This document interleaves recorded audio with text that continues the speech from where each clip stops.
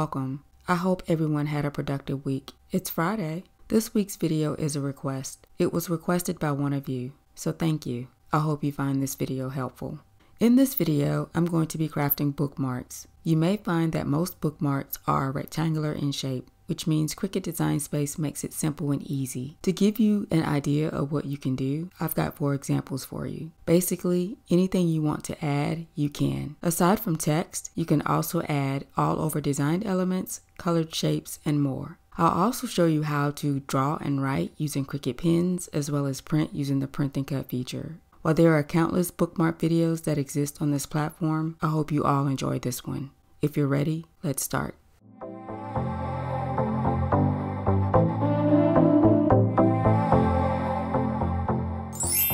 Open Design Space and start a new project. In this first example, I'm making a 2x6 bookmark. Select a square and make the size 2 by 6.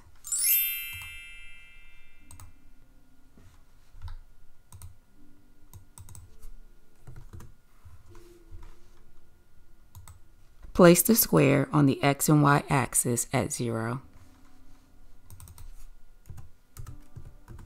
And here's the shape for our bookmark. I'm going to add a circle, a line, and vertical text. Select a circle and make the size 0.25.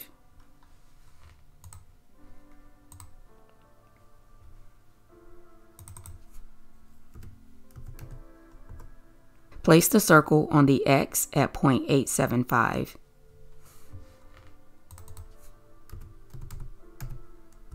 and the Y at 0.125.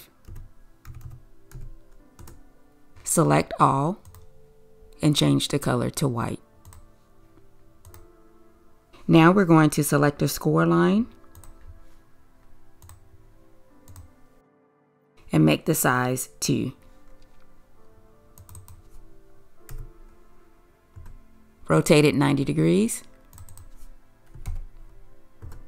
Now we need to convert the score line to a line that will be drawn using the pen. So I'm going up to operation and select pen. I'm also going to choose a color. Um, you could choose whatever color you want. I'm going to place the line on the X at 0 and the Y at 0.75.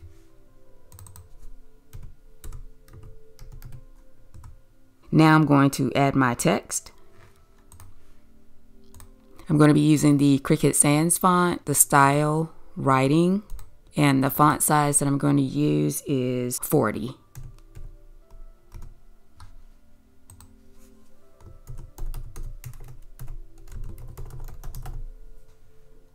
And I'm also going to change the color.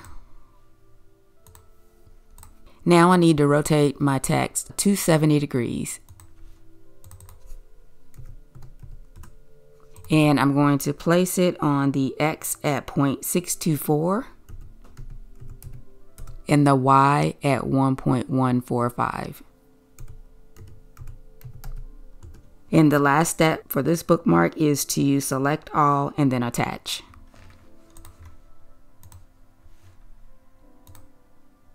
Our first bookmark.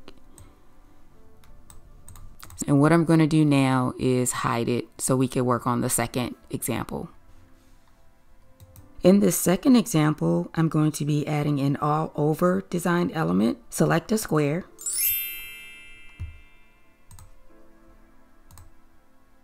And make the size 2 by 7.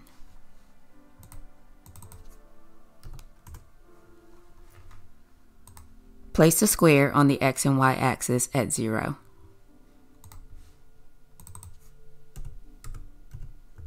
We're going to uh, add the circle next. So select the circle and make the size 0.25.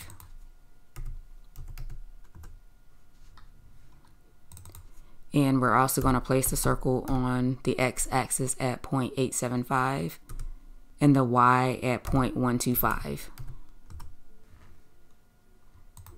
I'm going to select all and then change the color to white.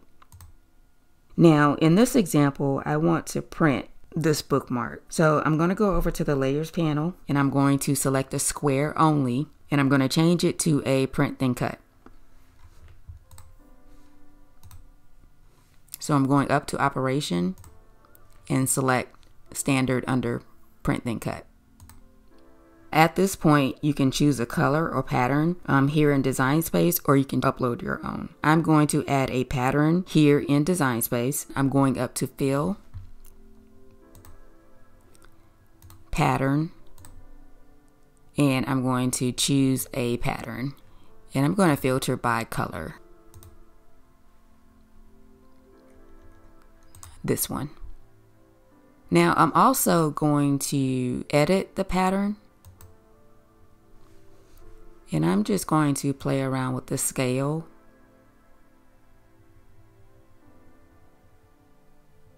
Put less circles on the bookmark. Now I'm going to select all and then attach.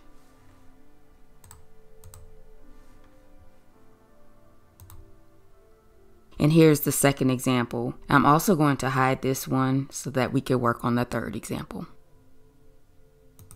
In this third example, I will be adding colored shapes as well as text and background color. So I'm going over to shapes to select a square.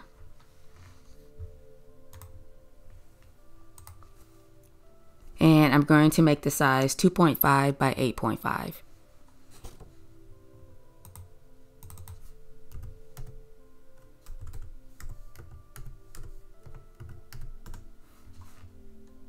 I'm going to place the square on the X and Y axis at zero.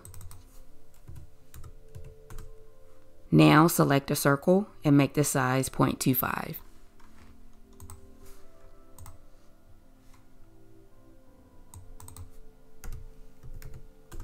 Place the circle on the X at 1.125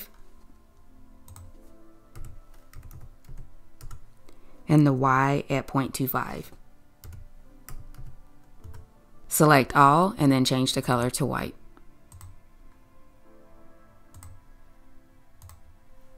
I want to print this bookmark as well. So I'm going over to the layers panel, select the square, and then go up to operation and change it to a print then cut. I'm going to add a background color first. So I'm going up to fill and I'm just going to choose this color. And now I'm going to start adding shapes. So I'm going to start with the triangle.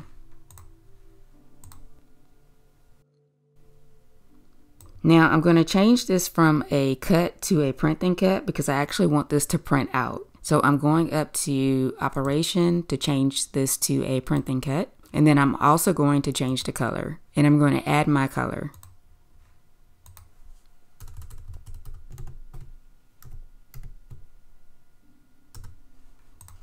And I'm going to duplicate this a couple times. And I'm just going to stagger them a little bit.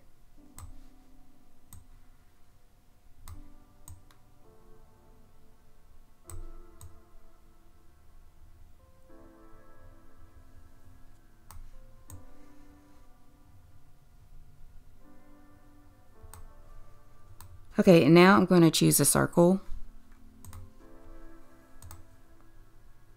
And I'm going to do the same thing change this to a print then cut and fill with color. And I'm going to add my own color.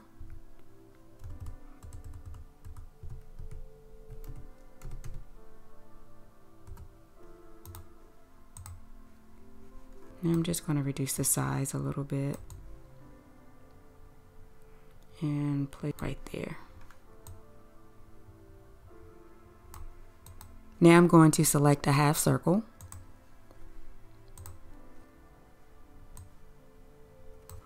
I'm going to do the same thing, change this to a print then cut.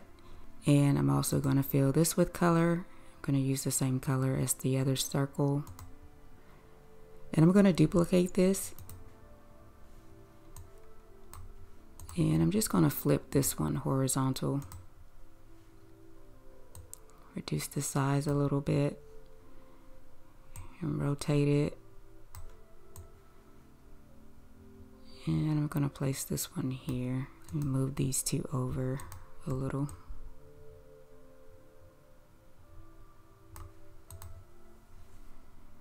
And this one, I'm to place right here.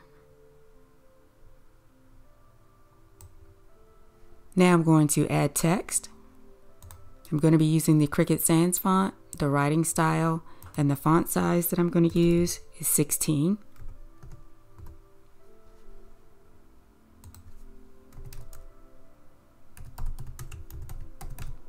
I'm going to add space between the letters.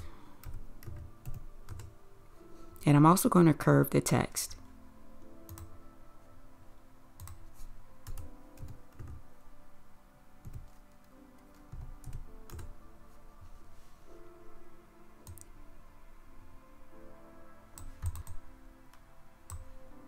I'm going to duplicate it and place the other one here. And I'm going to select the square as well as the text only. Align center horizontally. Now, in order for me to print this out, because I want the background color to print, uh, the colored shapes to print as well as the text. So I'm going over to the layers panel. I'm going to select the square and all of the shapes that are colored as well as the text. I'm going to select attach and then flatten. Now if the circle falls behind the square, just click on the square, go to arrange and then send to back. And then finally, we just need to select all and then attach everything together. Now there's one more option um, that you could do to make a bookmark, and that is bring it in from another platform, such as Canva, and I'll show you that in a second. So I'm going to hide this one,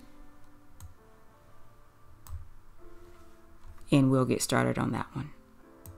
Okay, like I said, with this option, you can bring in your design from Canva, Illustrator, or Procreate. And basically, um, you would create your design in those platforms. Just make sure that you set your desired width and height for the bookmark that you want. Then you would need to create your design and then download it as a PNG and then upload it into Design Space. Choose Complex and then apply and continue. Then choose the print and cut option and then upload. Once you upload it to the canvas, as you can see, I've just uploaded it to my canvas and it's huge. So I need to reduce the size.